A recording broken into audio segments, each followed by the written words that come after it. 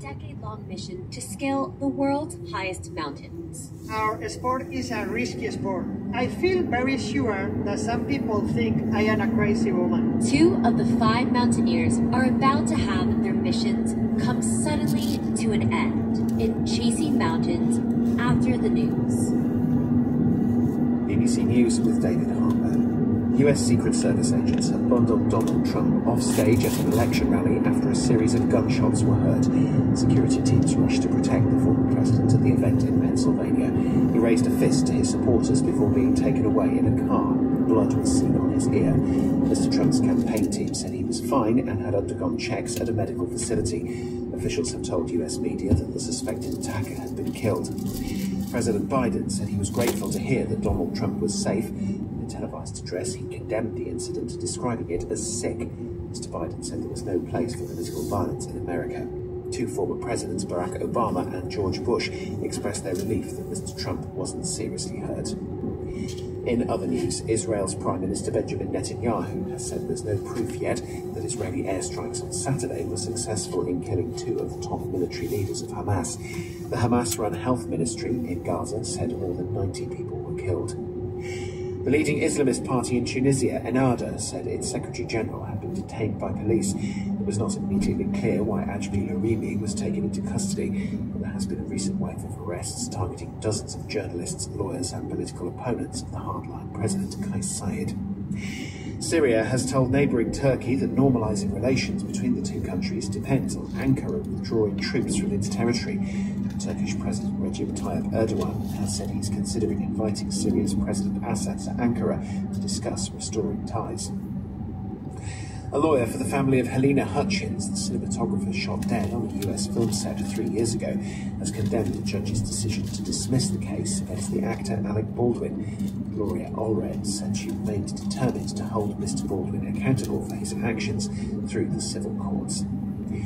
Live from London, I'm David Harper, and that's the latest BBC News.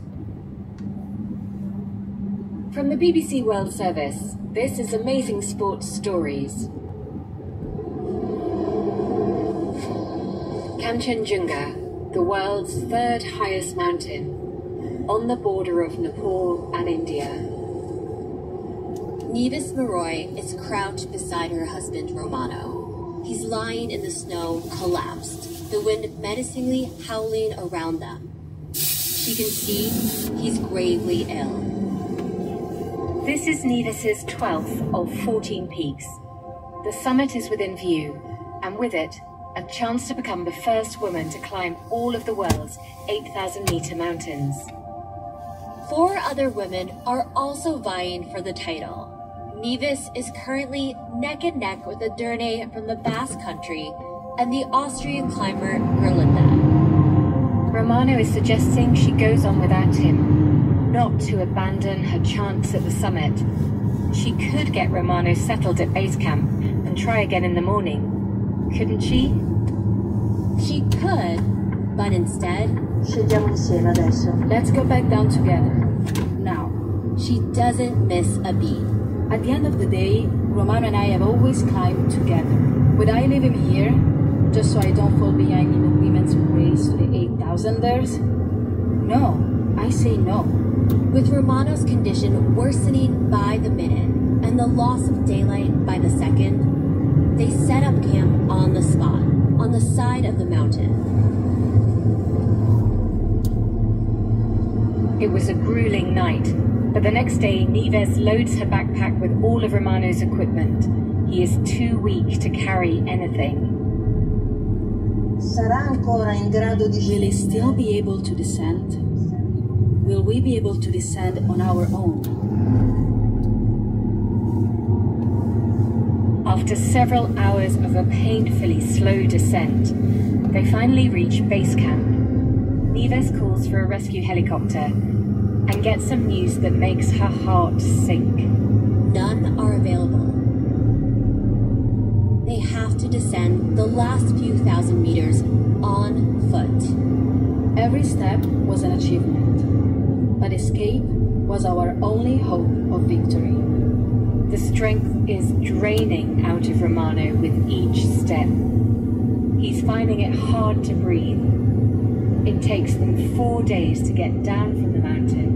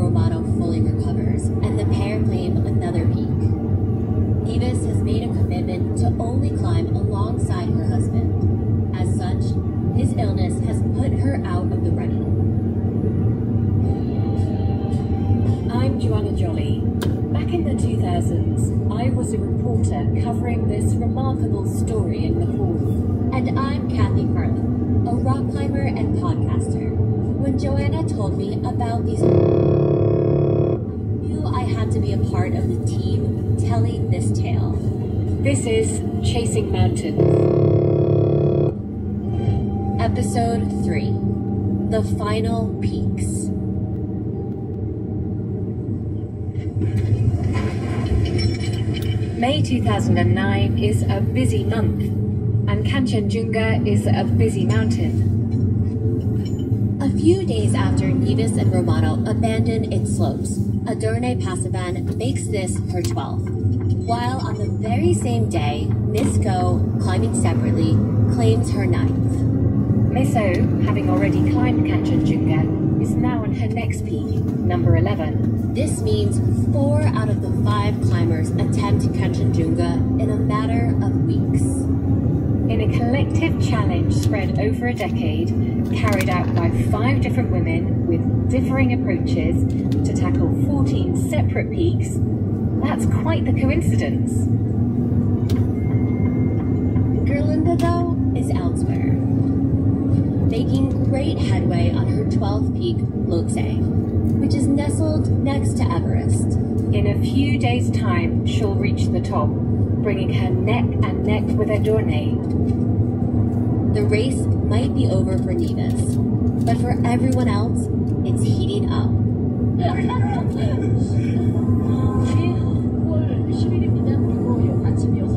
Superfast Miss Go is going strong. Between May 2008 and May 2009, that's a single year, she and her climbing partner, Kim Jae-soo, knock off five 8,000ers. As someone who doesn't climb, I can't even conceive how far climbers push their bodies and how much mental resilience they need to survive in these conditions. Our sport is a risky sport. I feel very sure that some people think I am a crazy woman, that I risk my life many times.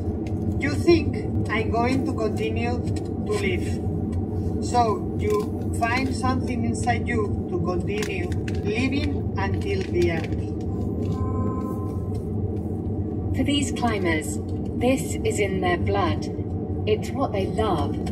But when you're doing four peaks in as many months, can it really resemble the passion you set out to pursue? At the first, I was excited to finally go to the mountains I had longed for. But after I set the goal, it became my homework. I had to finish it, accomplish it. So sometimes I felt like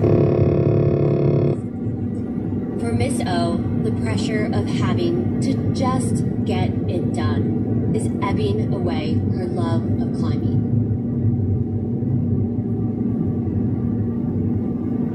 I've spent most of my climbing career chasing first female ascents. It's what drives me most.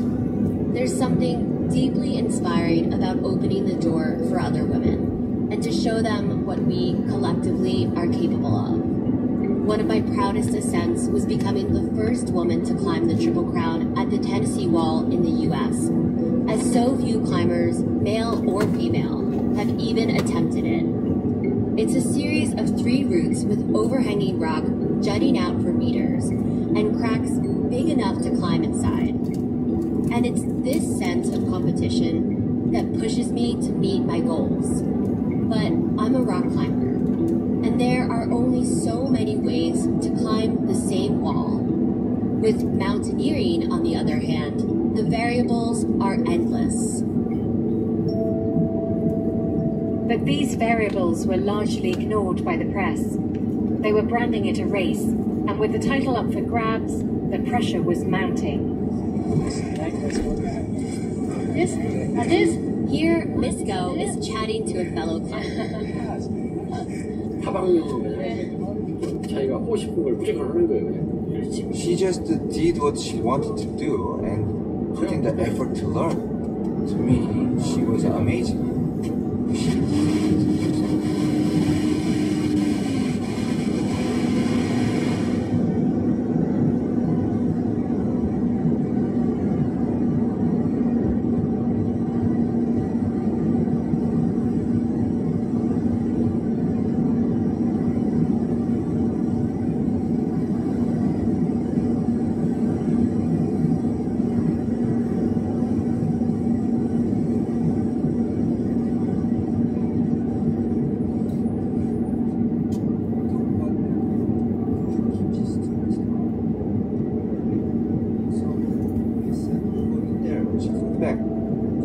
She was going to Nanga Parbat after the call, so we just told her to work hard.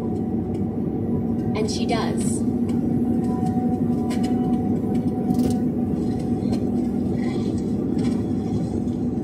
Miss Go and her climbing partner in Pakistani administered Kashmir. It's known as the Naked Mountain because it is completely exposed to the most extreme weather. No other surrounding peak comes close to matching its stature. It's famous for its deadly drops and boasts one of the longest rock faces of any other mountain on Earth. It's Miss Go's 11th. Just one step behind the other three. She marks the moment by waving the Korean flag and taking some photos and videos. It's minus 25 degrees Celsius. That's 77 Fahrenheit. She's wearing a blue snowsuit and a pink trapper hat. We can just about make out her saying that she's so relieved to have reached the peak. It's time to start the slow and careful descent. The camera gets turned off. Then it gets turned on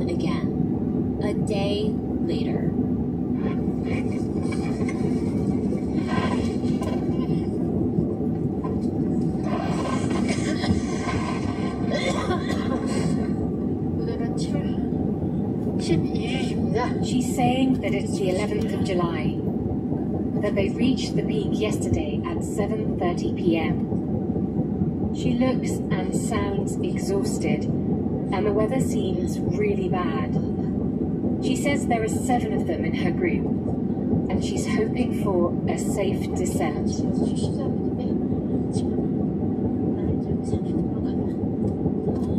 These are Miss Go's last recorded words.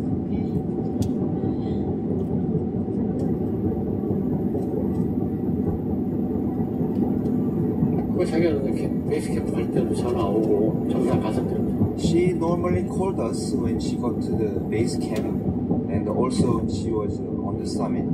Every time she told us not to worry about her. But we saw the videos and the newspapers, and uh, we knew how challenging it was to go up and down those mountains. But we always told her to call us after finishing her climb. The phone does ring, but this time it isn't his sister. Kim Jae-soo called me, and I wondered why. He said that my sister had fallen. The weather had turned, and Miss Go had fallen victim to one of Nanga Parbat's many drops. Her climbing partner Kim and other teammates said she fell from a cliff at 6,000 meters. 저, 저 실종됐다고지 죽었다는 생각을 안 했어요. At that time, I just thought she was missing. I didn't think she was dead. But then I heard the news. My own once the sisters gathered together, I cried a lot. Yes, a lot. I didn't even realize I was crying. It started to come out on the TV, and a picture was released. It was then I started to realize that she could be dead.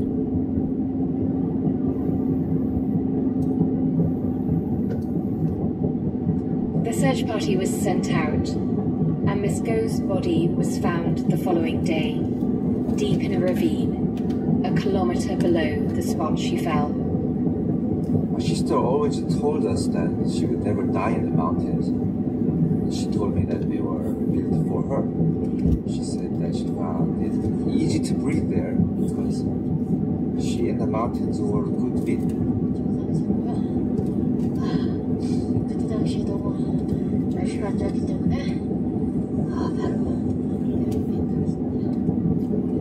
Può darsi che la, la pressione di questa gara possa aver influito. It may be that the pressure of this race may have contributed to her death, but on the mountain you can never tell. And that's why I say that when you're climbing a mountain, I think it's essential you block out any thoughts that distract you from your primary goal, which is, above all, to stay alive. Because we are at the mercy of the mountain itself and the risk of avalanches from bad weather. We are also put at risk because we are just not designed to live in these environments. As climbers, we know we're taking risks all the time. We're pushing ourselves to extremes and getting into the same situations where we know others didn't survive. We walk into it with our eyes open, but also our hearts. Because for every one risk we know we're taking, there are a hundred life affirming memories to be captured.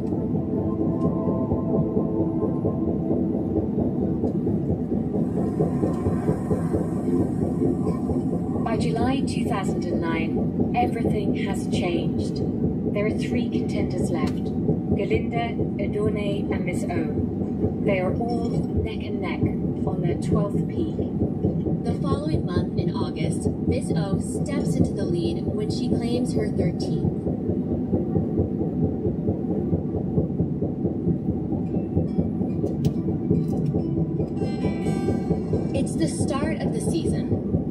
2010. Miss O is in the lead on 13. But Edurne quickly draws level, climbing Annapurna in Nepal. They are now neck and neck, but Miss O has the advantage, as Annapurna, the mountain they're currently on, is her final peak. And any day now, she's going to ascend it.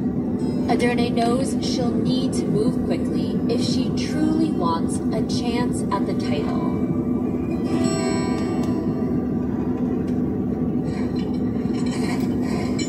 Edurne and her team pack up, wish Miss O well, and leave her at Annapurna Base Camp to wait out the weather.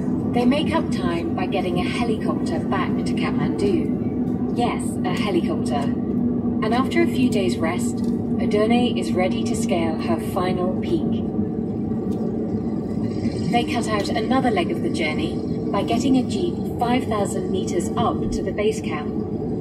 They're on Shishapangma, no friend to Edurne. This is her fifth time on its slopes, after four previous unsuccessful attempts behind her. It seems she has left the toughest one until last. But against the odds, she still has a shot at getting her name into the history books.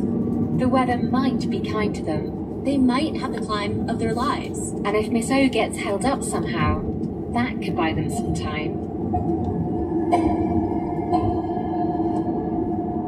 But where is Miss O? A few days after meeting Edurne at base camp, Miss O sets off to make an attempt on Annapurna, her final ascent. This is big news for South Korea. A crew from the country's main TV channel is hot on her heels. In their footage, she is covered head to toe in an orange and red snowsuit. Hood up, icebreaker mask on, not an inch of skin showing. The sky is blue, good news, but the wind is fierce. We can see her in front, striding on and up. She's looking confident. Meanwhile, two mountains over on Shishapangma, Edurne and her team have just arrived at base camp. Immediately, her phone rings. The bad weather coming. Really bad weather. Due to worsening conditions, they've been advised by the team's meteorologist to hold off trying to summit. And before she can take a breath, Edurne looks at the phone. What now?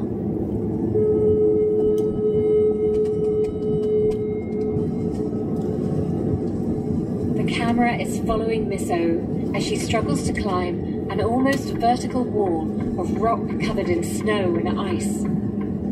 She stops at what looks like the top of the wall. She turns to look down at the camera, Korean flag in hand. I was so exhausted when I stood on top of Annapurna. I thought I would roar because it was my last climb. I wanted to, but my voice just didn't come out. On the 27th of April 2010, Owen Sun of South Korea became the first woman to claim the honor of having climbed the 14 highest peaks in the world. After 13 years, several jobs, countless sponsorships, and a lot of probably unfair media criticism, she did it. Half standing, half slumping on the snow covered peak, exhausted and struggling to hold up her flag, Miss O says in Korean that she's so happy and wants to share her joy with the South Korean people. The camera comes in for a close up. Her voice thick with emotion. She tells her mum and dad she misses them.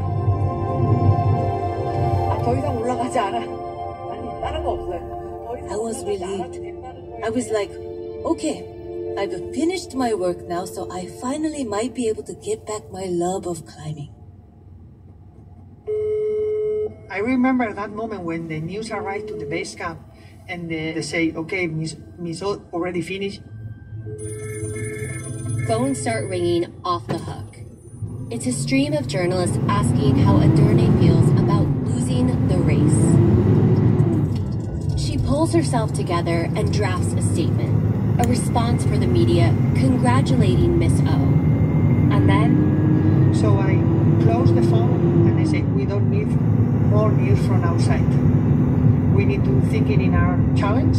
We need to think in that mountain. So don't listen what's happening outside this mountain. in true Edurne style, and with the voices of every one of her supporters ringing in her ears, she picks herself up and powers on to complete the mission she set out to do.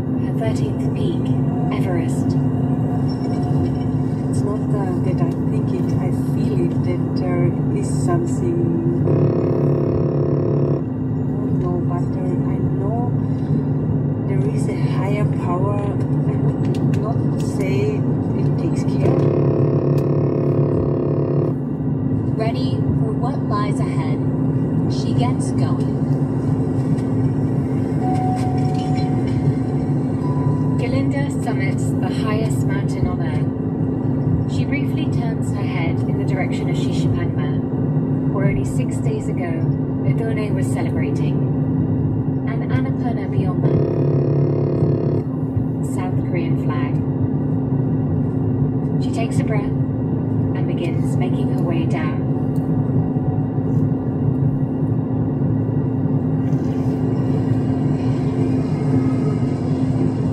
A week later, back in Kathmandu, Miss O is met with celebration and applause. As with all of her climbs, she notifies the Himalayan database team to submit the record of her climb. Elizabeth Hawley, the diminutive elderly obsessive founder and keeper of the database, meets her with clipboard in hand. Here's a clip from my archive of her speaking to me in 2010. You have a reputation for being formidable. Is her? I don't. Is satisfied with Miss O's answers.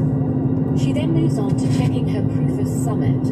Photographs of Miss O on the peak. If you get to the summit, when did you leave the ice camp to go to the summit? What time did you get there? What time did you come back? And then about the service, which service were they? Who were they? Yeah. I had an interview with Miss Hawley after I climbed the Annapurna. I knew Miss Hawley. She was formidable, but she had to be sure that you had actually reached the top your name in her big book, the Himalayan database, the closest thing mountaineering has to a reward system. Owensun, South Korea, Annapurna, 27th of April, 2010. And from Miss O's point of view, that should have been it. At this point in proceedings, Miss Hawley would normally congratulate the climber, wish them well, let them go off to celebrate. But that doesn't happen here. Miss Hawley asked Miss O to stay seated. She wants to talk about another of her climbs, one she did a year ago. Her 10th 8,000er, Kanchenjunga, on the border of Nepal and India. The only photo she produced shows her standing on a rock. That is not the summit. She thought she'd summited. The answer it was not so clear. She agreed that she was not standing in snow. Miss O is about to come under a media spotlight that will see her life turned upside down. An investigation is launched. That's next time on Amazing Sports Stories Chasing Mountains. Amazing Sports Stories Chasing Mountains is a bespoken production for the BBC World Service. For more episodes and extended versions, go to the Amazing Sports Stories podcast.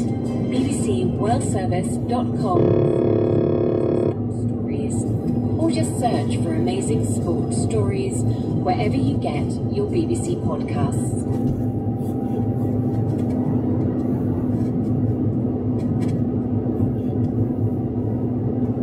Is the BBC World Service with an inspirational Turkish football team. In 2023, Antakya was almost wiped from the map in a devastating earthquake, but their football team vowed to keep going. We want to do our best to make people of Hatay smile again. But can the team that emerged from the rubble avoid relegation too? Shake goalposts Thursday at 8:30 and 19 GMT, or listen now wherever you get your BBC podcasts. In half an hour, join Claudia Hammond for Health Check. We'll be asking what the rest of the world can learn.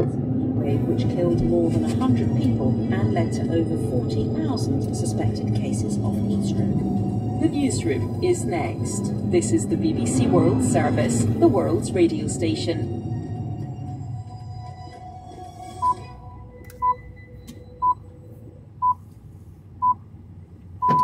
It's one o'clock GMT. You're listening to the newsroom with me, Paul Moss. Donald Trump has been shot while addressing a campaign rally in Pennsylvania. A number of shots were heard when he was a few minutes into a speech. Take a look what happened. The former president was bundled off stage and evacuated from the scene. There were yells and screams from the vast crowd. This woman was close to the scene when it happened. All of a sudden, we heard a bunch of shots and people started running, tripping, falling. President Joe Biden said everyone should condemn the shooting and that he hopes to speak to Mr. Trump later. We'll be bringing you the latest news from our correspondents in the US that ask what this means for a US election campaign which already looked like no other in American history and we'll have reaction from Wisconsin, where the Republican Party convention is set to begin. All of that after this bulletin of international news. Hello, I'm David Harper with the BBC News. Donald Trump has been rushed to safety at an election rally in Pennsylvania after a series of gunshots were heard. Secret Service agents ran onto the stage to protect the former president. He raised his fist to supporters as he was led away In the past few minutes, Mr. Trump has made his first comments since the incident. He said he'd been struck with a bullet that pierced his upper ear. He said it was, incre- it was incredible that such an act could happen in the United States. Our correspondent Gary O'Donoghue was at the rally. We were a couple of hundred metres away. We were about to go on air. We suddenly heard this volley of shots from maybe 150, 200 metres away, and you had no idea where the shots were coming from. And the screaming started from inside, and people started streaming out. A number of eyewitnesses here described to us their belief that the shooting was coming from a metal one story building with a white roof to the right of the stage as Donald Trump was standing. And certainly one eyewitness we spoke to had said that he saw a man climbing onto that roof. Five, seven minutes, he said, into Donald Trump's speech, climbing up the side onto that roof with a rifle. And a couple of minutes later, the shooting started. The Secret Service says the attacker was killed as well as a member of the audience. President Biden said he was grateful to hear that Donald Trump was safe in a televised address. There's no place in America for this kind of violence. It's sick. It's sick. One of the reasons why we have to unite this country. We cannot allow for this to be happening. We cannot be like this. We cannot condone this. The Trump rally a rally that he should have been able to be conducted peacefully without any problem. But the idea, the idea that there's political violence or violence in America like this is just unheard of. It's not appropriate. We, everybody, everybody must condemn it. In other news, Israel's Prime Minister Benjamin Netanyahu has said there's no on Saturday was successful in killing two of the top military leaders of Hamas. According to the Hamas-run health ministry in Gaza, 90 people were killed in the attacks. From Jerusalem, our correspondent Lucy Williamson has this report. The injured were carried away in blankets and carts. Black smoke from the explosions still funneling into the sky behind them. The dead, wrapped in white shrouds, packed high inside an ambulance. Paramedics mingling with the fleeing and the grieving. Eyewitnesses told the BBC that a large airstrike hit a building in a designated safe zone for displaced people. An Israeli military official said it was a precision strike based on accurate intelligence. The Palestinian Ministry of Health said half of those killed in the strike were women and children. Lucy Williamson reporting from Jerusalem. This is David Harper in London, and you're listening to the latest world news from the BBC. The leading Islamist party in Tunisia, Ennahda, says its Secretary General has been detained by police. It was not immediately clear why Ajmi Lourimi was taken into custody, but there has been a recent wave of arrests targeting dozens of journalists, lawyers, and political opponents of the lawyer for the family of Halyna Hutchins, the cinematographer of shot dead on a US film set three years ago, has condemned a judge's decision to dismiss the case against the actor Alec Baldwin. Gloria Allred said she remained determined to hold Mr. Baldwin accountable for his actions through the civil courts. On Friday, the judge threw out an involuntary manslaughter charge against him. Britain's new Prime Minister, Keir Starmer, says measures to secure economic growth will be at the centre of his government's agenda for the year ahead, which will be announced on Wednesday. More than 30 bills will be set out in what's known as the King's Speech. Our political correspondent, Ian Watson, reports. The project featured prominently the creation of new publicly owned company GB Energy, national wealth fund to invest in new technologies, and to be a consultation on whether new solar farms should be regarded as critical national infrastructure. This will speed up the planning process. There'll be legislation to enable water companies in England to be put into special measures, where executives would be denied bonuses. There are no plans to nationalise water companies, though most rail companies will gradually return to the public sector. There'll be legislation to encourage house building and an education bill to ensure that schools no longer provide breakfast clubs and measures to tackle antisocial behaviour. US media say the celebrity fitness instructor Richard Simmons, known for his flamboyant style and relentless enthusiasm, has died. He was 76. Police have not officially confirmed his death. Richard Simmons rose to fame in the 1980s and 90s with his dance workout videos. He had just celebrated his birthday on Friday and revealed earlier this year that he'd been diagnosed with skin cancer. BBC News. You're listening to the newsroom with me, Paul Moss. There was already keen interest in Donald Trump's Saturday afternoon rally in the city of Butler, Pennsylvania. It had been speculated he might name his running mate, the candidate to be vice president, ahead of next week's Republican Party convention in Milwaukee. And then there was the question would the former president have anything to say about the current holder of the office, Joe Biden? But instead, 10 minutes into his speech, this happened. And you know, that's a little bit old, that chart. That chart's a couple of months old. And if you uh, want to really see something that's said, take a look at what happened.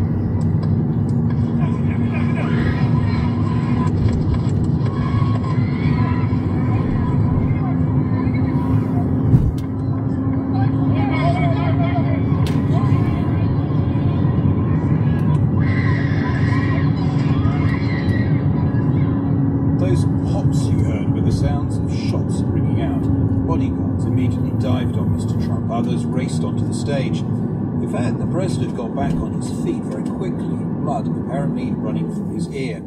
He raised his hand, pumping the air. He seemed rather angry, understandable, of course, for a man who'd just been shot. And he was then taken away in a waiting vehicle. Among the supporters left behind, there seemed to be a mixture of anger and defiance.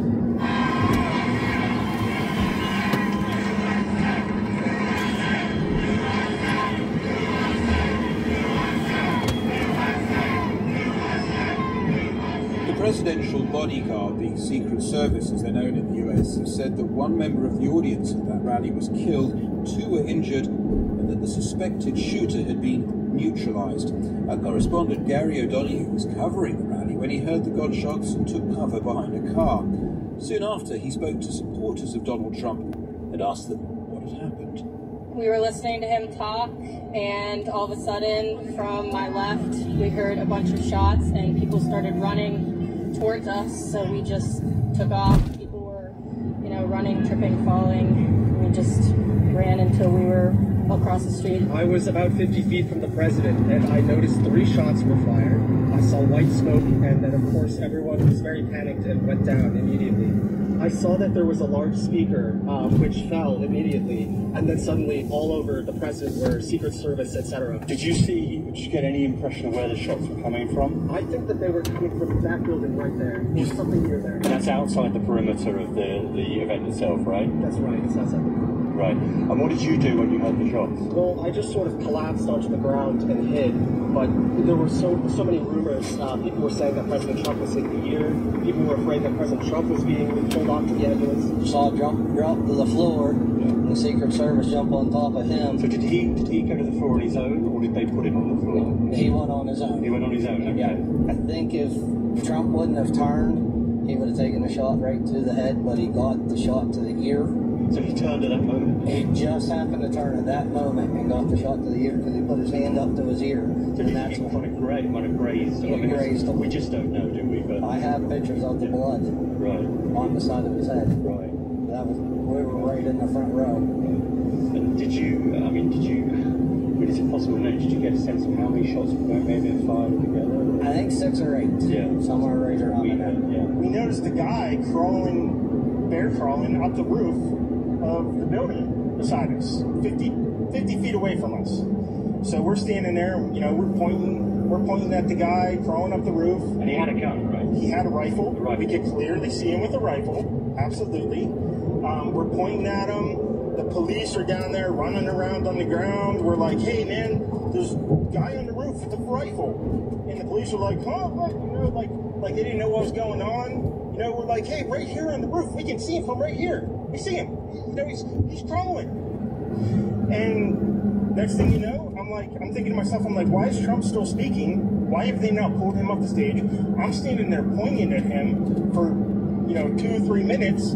Secret Service is looking at us from the top of the barn. I'm pointing at that roof, just standing there like this. And next thing you know, five shots ring out. So you're, you're certain uh, shots came from that guy on the hundred percent. And he he was up there for a couple of minutes. He was up you there. Saw him up there for a couple of minutes. Absolutely, at least three to four minutes. And you were telling Yep. the police. and the Secret Service. We were telling the police, we were pointing at him for the Secret Service, who were looking at us from the top of the barn. They were looking at us the whole time when we were standing by that tree. Did they see? Binoculars, Did they see? probably not, because the roof, the way the, the slope went, he was behind where they could see.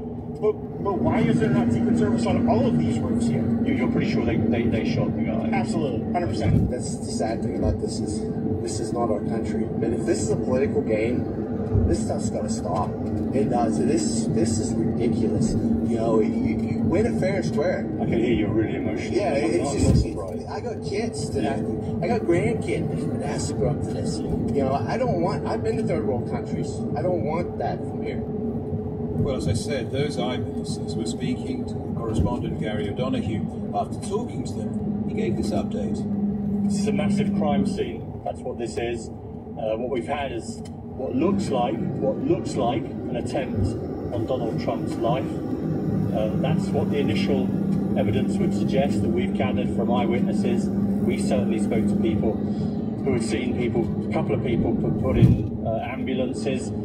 Uh, we spoke to several eyewitnesses that identified what they said is the position from where the, the shooting took place, which is a, a single story building which is to the right of the stage as Donald Trump would have been on stage, to his right. Uh, and one of our eyewitnesses, Tim, who we spoke to, said he saw he saw a man crawl up onto that roof with a rifle, and that he pointed this out. He said he says to the Secret Service and to the police who are around.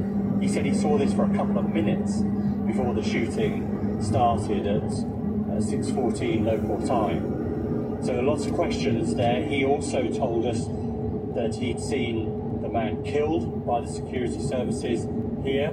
Uh, we don't have any detail about what happened or, or how that happened, but another one of our eyewitnesses, uh, Colby, who's uh, just a teenager, said he saw the snipers on the other roofs around here, Secret Service, people like that. He saw them shoot, saw the muzzle flashes as they shot back at the at what appears to be at this stage the lone gunman. So there's a lot of detail still to work out. We know from all our eyewitnesses that Donald Trump seemed to go down after the shooting started. We, we were actually pretty much on air, and I heard what sounded to me like six or eight shots a couple of hundred meters away, and it was absolutely clear immediately that it was shooting. Sometimes you wonder about cars backfiring, about motorcycles backfiring. This was clearly gunfire, and there was a, a rapid sort of volley of a number of shots, six to eight, I estimate that I heard. Um, and then you heard the screaming, and you heard people rushing, and saw people rushing out from there and, and trying to get away as, as quickly as possible. We were on air, as I say, and we lay down on the ground to make sure because we had no idea where the shooting was coming from physically, whether it would continue, how much there was, how many people were involved. We had no idea whatsoever. So the safest place is always on, on the ground when those things are happening. And to be honest, it's quite shocking because lots of people we've spoken to today, whether you agree with their political views or not, they came here to see their candidates. One man I spoke to, Devon, who's a local farmer, lives just two miles down the road. This is the showground where he brings his animals to sell. He's going to be here in a couple of weeks' time. It's his first rally. He says he's a proud gun owner, but he said there's some lunatics out there, and you could hear in his voice a concern about the future of his son Colby, who was standing right next to him. And what an experience for that young man at his first ever political rally in the most developed country in the world to see people shooting at one another. It's a sad, sad day this country. Gary O'Donoghue. Just before we came on air, Donald Trump wrote on his Truth Social website that he wanted to thank the US Secret Service for their rapid response. That's his bodyguards. He added, I want to extend my condolences to the family of the person at the rally who was killed, and also to the family of another person who was badly injured. It is incredible that such an act can take place in our country. Nothing is known at this time about the shooter who is now dead. I was shot with a bullet the upper part of my right ear. I knew immediately that something was wrong, and that I heard a whizzing sound of shots, and immediately felt the bullet ripping through the skin. Much bleeding took place, so I realised then what was happening, and Donald Trump ended with his trademark in capital letters, God bless America. Well, in the past hour, speaking at the White House, President Biden has condemned the shooting. There's no place in America where this kind of violence. It's sick. It's sick. It's one of the reasons why we have to unite this country. We cannot allow for this to be happening. We cannot be like this. We cannot condone this. And so I want to thank the Secret Service and all the agencies, including the state agencies, that are engaged in making sure that people, and we have more detail to come relative to other injured, other people maybe injured in the audience. I don't have all that detail. We'll make that available to you. We may be able to come back a little later tonight, but we'll put out a statement if we don't, if I'm not able, if it's not convenient for you all. The bottom line is, the, the Trump rally was a rally that should have been able to be conducted peacefully without any problem. But the idea, the idea that there's political violence or violence in America like this is just unheard of. It's just not appropriate. We, everybody, everybody must condemn it. Everybody. Keep you informed, and if I am able to speak to, to Donald, I'll, I'll let you know that as well. So far, it appears he's doing well. Number one. Number two, that there's thoroughly investigating to anyone else in the audience. I have some, have some reports, but not final reports. And every agency in the federal government, I'm not going back to, to my phone to speak with federal agencies who may put together again to give me an updated briefing as anything happened. They learned any more in the last couple hours. So thank you very much, and I hope I get to speak to them tonight, and I'll get back to you if I do, okay? And that was President Biden speaking within the last hour from the White House.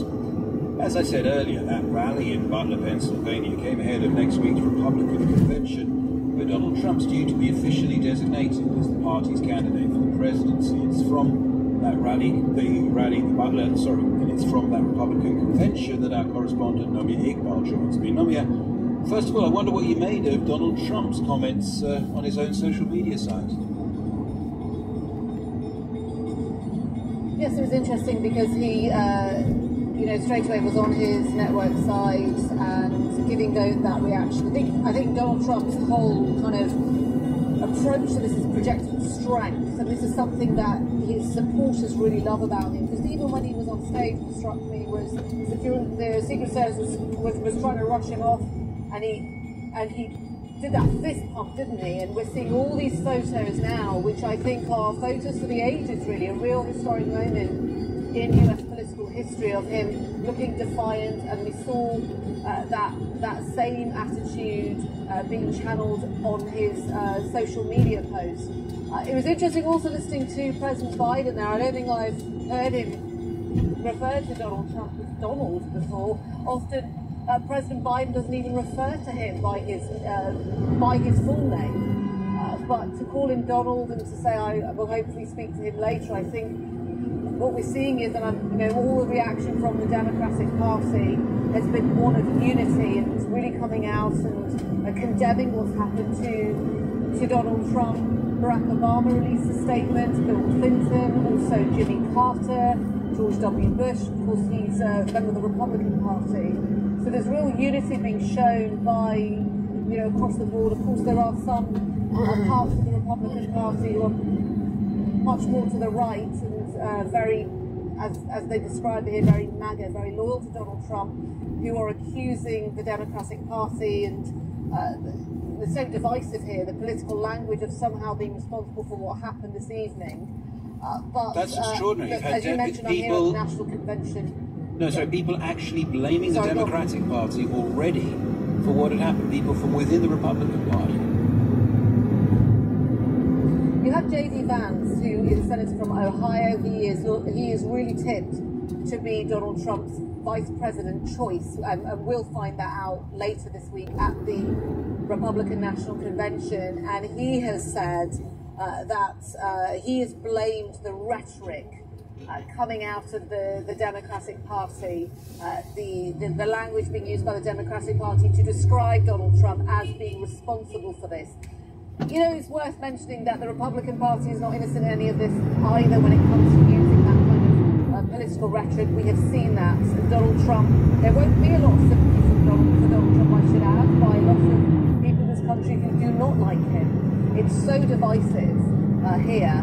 Uh, but they, as I say, there have been these, these, these members of the Republican Party who are now coming out and blaming the Democrats for what's happened. Marjorie Taylor Greene, who is uh, a congresswoman from Georgia, very loyal to Donald Trump, seen as very radical, described as far right and so forth, she has blamed the Democratic Party and the media. Uh, my colleague uh, Bernd Debusmann, who's in uh, Pennsylvania, who was, at, who was at that rally, uh, has been reporting on our live page about the, the criticism that the media has been facing by a lot of Trump supporters there as well, who, blame the press for a lot of divisiveness. So, yes, there is, for the most part, unity and condemnation of what's happened, but already you're seeing that, that, that sort of divisive rhetoric come up, uh, which is not too surprising in a country that's just been so polarised for, for years now. Nomia Iqbal in Milwaukee, thank you very much indeed. You're listening to the newsroom from the BBC World Service. Reminder of the main story we're covering. US Secret Service agents have rushed onto a stage to protect Donald Trump after a series of shots were heard at an election rally. The former president was taken away with blood on his ear. He later thanked the Secret Service for their rapid response. President Biden has condemned the violence and said he was grateful Mr. Trump was safe. Well, former Secret Service agent Charles Marino has been telling the BBC's Carl Nasman what measures are in place to deal with a situation like this. Former President Trump has a high level of security for two reasons. One, he's a recent former president uh, out of office, and he's also the presumptive Republican nominee here one week before the Republican convention. So he carries a lot of resources around with him on the security side. And here at this site, you've got three layers of security. You've got this inner bubble that you saw respond to the shooting and to the former president to shield him from additional gunfire. You have a middle perimeter, which also includes screening everybody that came into that rally for things like weapons, which is why I find it interesting. We're not hearing exactly where this shooter was. We've heard from several eyewitnesses that have told the BBC that they personally saw somebody on a roof on a building near where this outdoor rally was taking place, somebody with a rifle. We can work to verify, obviously, those reports, but multiple people have told the BBC that. If that is indeed the case, what does that tell you as a Secret Service expert? What kinds of plans are in place for somebody who might be outside the event? Because obviously, within the event, there is an incredible amount of security. Is it the same for buildings around an event? Yeah, it is, which is why the former president, you hear many eyewitnesses at the scene describing seeing the Secret Service counter snipers on nearby routes. And you know what? That does not sound odd to me, what you're describing of where people have told news reporters where they saw somebody. Because if you look at the rate of gunfire that you can hear, there's only what appears to be one hit. What that tells me is that it was a greater distance involved of acquiring the target, being the former president, and having, you know, somewhere to six to seven misses and only one hit. But there are countermeasures in place to have to catch these types of things. And in this case, it appears they may not have worked. But I can tell you the FBI is going to come in. The FBI is going to lead the investigation because this was an assassination attempt the Secret Service will hand over the investigation to the FBI. They will stay a part of the investigation. And this rally area and, and the location of where this shooter was now becomes a crime scene. And they will work it exactly as a crime scene. They will interview witnesses and they will look for ballistics and all the other things that are associated to make the case of, of what possibly went wrong here. Charles Marino speaking to the BBC's Carl Nasman. Let's remind you now what happened a few years, a few hours ago at the campaign rally in Pennsylvania, where Donald Trump was rushed off stage after shots were fired. It happened just 10 minutes into his speech. And you know, that's a little bit old, that chart. That chart's a couple of months old, and if you uh, want to really see something that's said, take a look at what happened.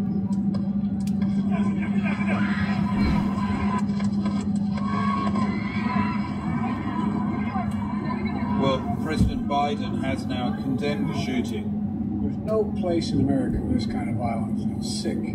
It's sick. It's one of the reasons why we have to unite this country. We cannot allow for this to be happening. We cannot be like this. We cannot condone this. The idea that there's political violence or violence in America like this is just unheard of. It's just not appropriate.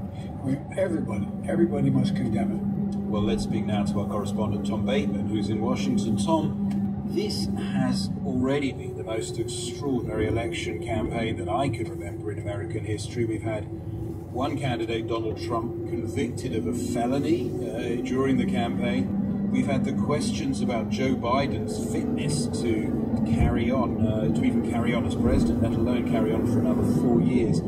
I, I know it's early to speculate, but what do you think the effect might be of this, the, the introduction of violence now into the campaign?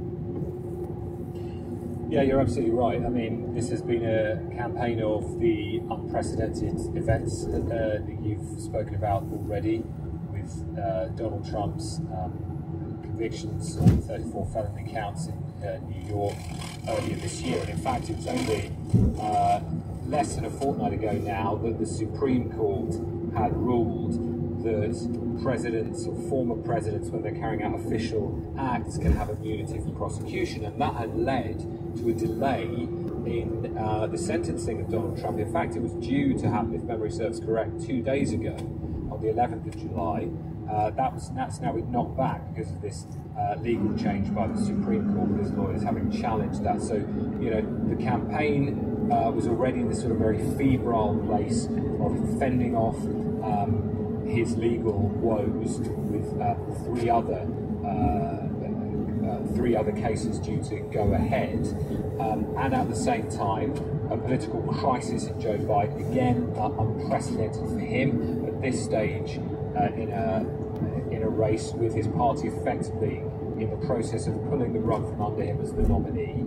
That that is ongoing, and now this this moment of extraordinary violence towards not just a former president, but one running for office again at a campaign rally. And as we know, at least one fatality now confirmed by the police in the crowd, the, the shooter himself then killed uh, by uh, Secret Service, uh, Donald Trump wounded. Um, so where this goes, we don't know.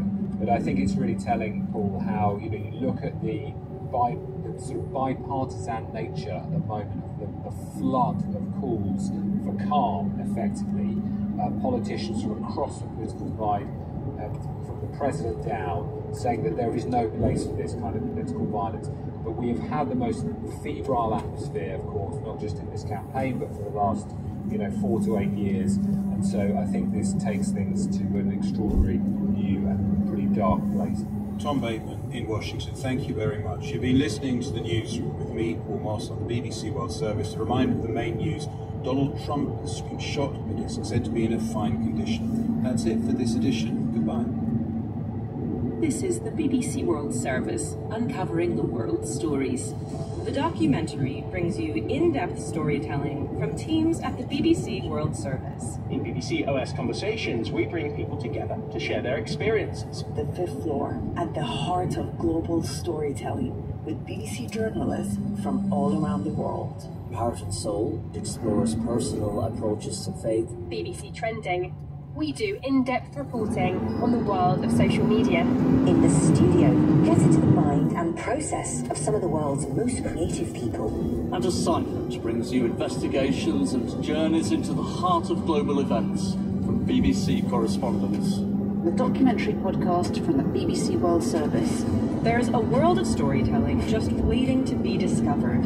The documentary at bbcworldservice.com or wherever you get your BBC podcasts. Hello, I'm Claudia Hammond. Health Check is coming up after the news. We'll be asking what the rest of the world can learn from India's experience of a heat wave which killed more than 100 led to over 40,000 suspected cases of heat stroke, and the single injection which can prevent you from contracting HIV for six months. With a new trial in Uganda and South Africa showing extremely promising results, questions are turning to how quickly it could be made available to the people who need it most.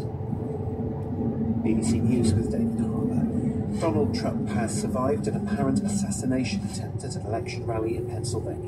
Security agents rushed to protect the former president after gunshots were heard before he was led to safety with blood on his face. In a social media post, Mr. Trump said a bullet pierced his ear. According to the Secret Service, the attacker was killed in the scene. A member of the crowd also died, and another two were seriously wounded. President Biden said he was grateful to hear that Donald Trump was safe. In a televised address, he condemned the incident, describing it as sick. Mr. Biden said there was no place for political violence in. Two former presidents, Barack Obama and George Bush, expressed their relief that Mr. Trump wasn't seriously hurt. In other news, Israel's Prime Minister Benjamin Netanyahu has said there's no proof yet that Israeli airstrikes on Saturday were successful in killing two of the top military leaders of Hamas. The Hamas-run health ministry in Gaza said more than 90 people were killed. The leading Islamist party in Tunisia, Ennahda, says its Secretary General has been detained by police. It was not immediately clear why Ajmi Lourimi was taken into custody, but there has been a of arrests targeting dozens of journalists, lawyers, and political opponents of the hardline president, Kais. Syria has told neighbouring Turkey that normalising relations between the two countries depends on Ankara withdrawing troops from its territory. The Turkish President Recep Tayyip Erdogan has said he's considering inviting Syria's President Assad to Ankara to discuss restoring ties. A lawyer for the family of Halyna Hutchins, the cinematographer shot dead on a US film set three years ago, has condemned a judge's decision to dismiss the case against the actor Alec Baldwin. Gloria Allred said she remains determined to hold Mr. Baldwin accountable for his actions through the civil courts. Live from London, that's the latest. BBC News. Hello and welcome to Health Check from the BBC. I'm Claudia Hammond, and every week on this show we look at what's happening in the world of health. And in the many years I've been presenting this programme, it is clear that some things definitely do get better in medicine, but then other things get worse. And today is no exception. In a moment, we'll be hearing about the serious threat to health and to life caused by heat waves and how more and more people are affected. But later on, we'll hear about the injection, which could be a game changer in preventing the spread of HIV for decades to come. And my guest today is Andrew Green, who's a global health journalist based in Berlin. Andrew, as, as someone who covers this area as well, do you find there's this mixture of steps forward and, and steps back when it comes to global health? Oh, definitely. And I think at this point, in the midst of what people are calling a polycrisis, there's real concern that we're taking a big step back. I mean, there was massive funding injections in the global health space during COVID, but, but those really seem to be disappearing at the moment. Well, there's lots for us to chat about with you on that later on. But we're going to start in India. The country has now emerged from a heat wave which killed more than 100 people and led to over 40,000 suspected cases of heat stroke in the past three and a half months. Now, people from lower socioeconomic groups were especially vulnerable to the heat, and as the Northern Hemisphere enters its hottest months, we are wondering what lessons can be learned from the experience in India. I asked Aditya Pillai, who's the Adaptation and Resilience Coordinator of the Sustainable Futures Collaborative in Delhi, what it was like during the heat wave. So this summer we had a very, very, very long heat wave, and um, we saw temperatures approach 50 degrees, cross 50 degrees in some instances. We saw very, very warm nights. We saw an increase in hospital admissions and severe heat stroke cases, and we've seen some very good reportage over the last uh, couple of weeks of what a severe heat stroke case looks like and how difficult it is to treat. I've seen descriptions of hospitals actually creating heat wave units to treat the numbers of people. That's right, that's right. I mean, it's, it's all about cooling patients down. So they create units with air conditioning and large bathtubs in which you can just dump kilograms and kilograms of ice to try and cool the body down because the body's gone well past its uh, limits in terms of temperature. But I do do want to emphasize these units few and far between, right? So these are large hospitals in the national capital. For the rest of the country, an advanced heat stroke case is very, very hard to treat because for a lot of people, it's actually quite a distance away having access to this sort of advanced care. And you often think of older people as being more at risk because we know it's harder for them to, to regulate the temperature in their bodies. And not long ago on Health Check, we talked about how more women than men are being affected. But who else is most affected? So one of the interesting things I was reading this report the other day about a security guard who spent five days, six days straight during the heat wave out on the street side where he's stationed and he ended up with a heat stroke case. And this is a middle-aged male. When you have a really intense heat wave like this, you start seeing people die across various demographic groups that we traditionally see as vulnerable, but also those that we don't. Right? If you look at India's labor force, 75%, or to some estimates, about 75% of India's labor force is heat exposed in some way or the other. They don't have the income or the wealth to stave off the worst effects of heat. Right? So this includes having an air conditioner at home, being able to take a day off when you're exhausted. And heat is definitely a killer, but poverty is an even bigger in these cases because it just exacerbates all the worst effects. Now, I noticed a bicycle rickshaw driver who was interviewed saying no matter who you vote for, this is a problem no one can solve. Can it be solved? What, what can you do if people are working outside? What, what can be done to protect them? So realistically, you can try and solve the heat problem within a certain range of temperature increase due to climate change. If we hit the sort of estimates we have of how hot the Earth's going to get by the end of the century, some say about 2.6, 2.7 degrees from the pre-industrial average, that crosses all sorts of adaptation limits. Right? At that point, if you have a severe heat wave like the one you had this past month, um, there's pretty much nothing we can do to stop it.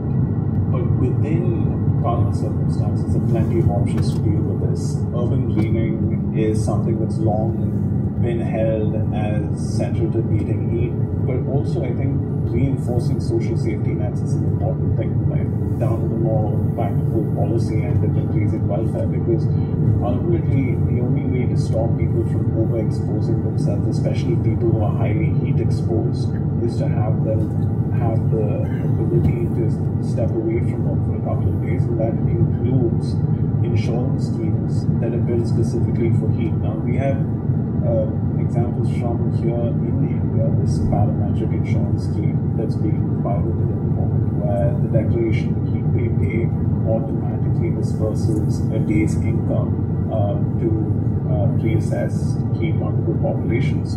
Um, I also want to talk a little bit about the healthcare system. This is a call to rebuild large parts of the healthcare system, especially frontline healthcare because climate risks are going to occur at places where the capacity is currently the least. Um, so that requires a huge amount of investment, and secondly, it also requires a lot of retraining and uh, thinking about climate risk differently for future doctors, right? Because medical syllabi don't necessarily incorporate climate risk at the level they should, uh, based on you know current day realities and what we're seeing playing out on the ground. India has now emerged from the hottest weather, but other countries around the globe, the US and, and, Europe, are now going to be entering their hottest months. Do they face similar issues in terms of the people from lower socioeconomic groups being particularly vulnerable? Absolutely. I mean, this is this is one of the great tragedies of heat, especially, but climate impacts across the board. There's plenty of literature now coming from the US which shows that heat affects non-white categories. Your racial line, just as in India, he has an effect on groups that have previously been underserved and underprivileged, right? And this is true across the world. Wherever there's a social cleavage, it's important to remember that people who have been historically deprived are the people who are the most affected by these things.